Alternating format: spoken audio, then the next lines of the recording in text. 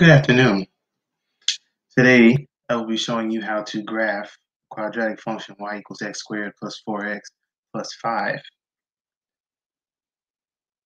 using the vertex axis of symmetry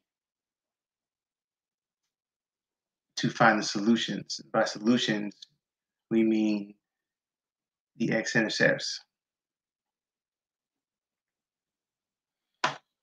So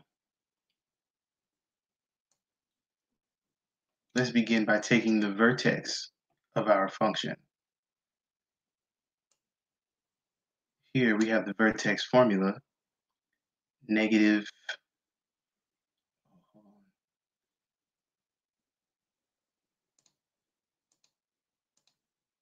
That's supposed to be a comma.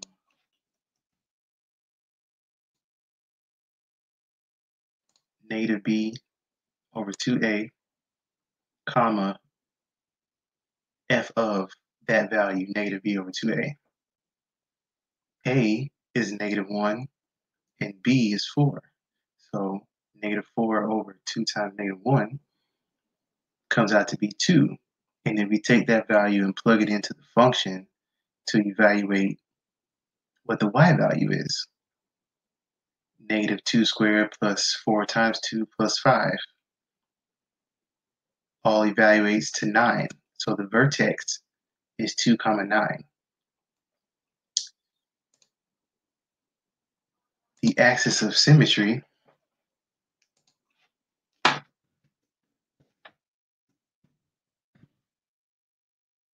is the x value of the vertex, written as x equals 2.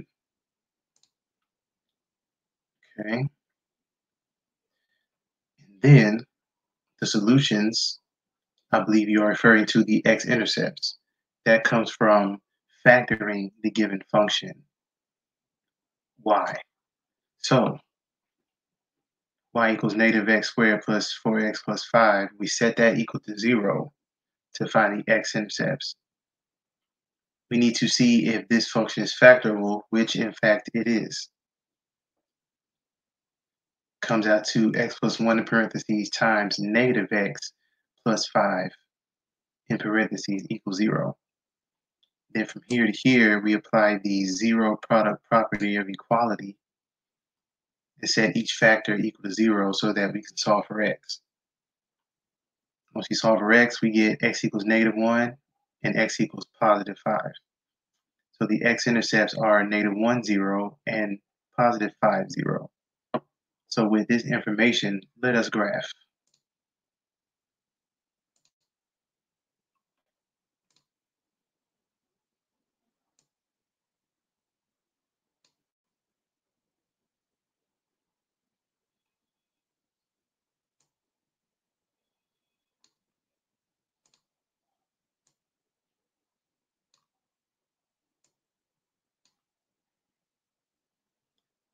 Negative 1, 0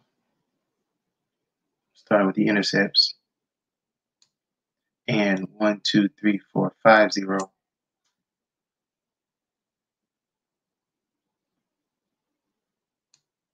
Okay. The vertex is two, nine. One, two. One, two, three, four, five, six, seven, eight, nine.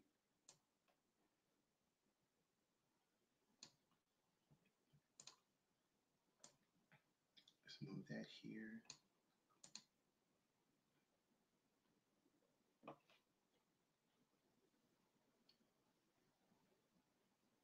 So the axis of symmetry goes through the vertex point.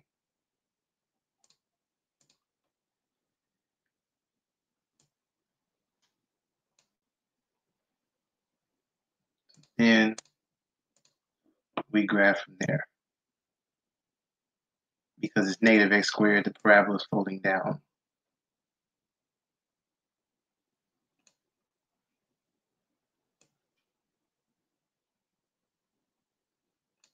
Okay, I hope this helped. My name is Tim, math tutor. Thank you for listening.